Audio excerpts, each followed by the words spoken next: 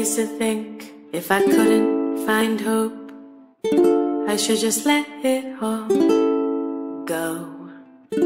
I used to think if I couldn't make dreams come true.